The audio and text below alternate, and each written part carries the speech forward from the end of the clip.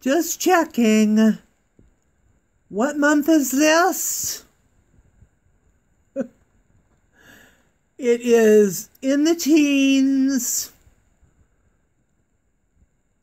And you can't tell, but we had about eight to ten inches of snow yesterday, but it all blew in our backyard or our front yard, I guess.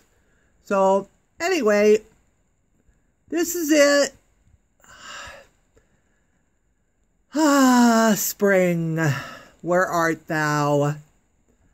Talk to you later.